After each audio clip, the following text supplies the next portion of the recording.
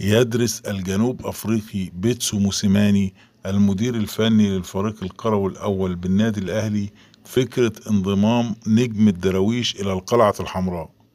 ودخل مسؤول الأهلي في مفاوضات مع نظرائهم بالنادي الإسماعيلي من أجل التعاقد مع باهر المحمدي نجم دفاع الدراويش.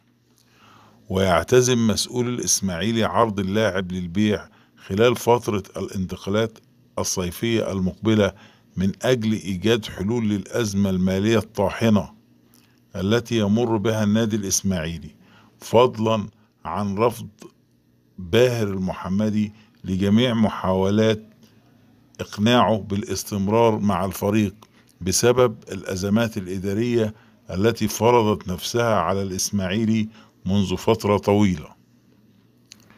ووفقا لمصدر داخل النادي الأهلي فإن القرار الأول والأخير في التفاوض من أجل التعاقد مع باهر المحمدي سيكون للمدير الفني بيتسو موسيماني.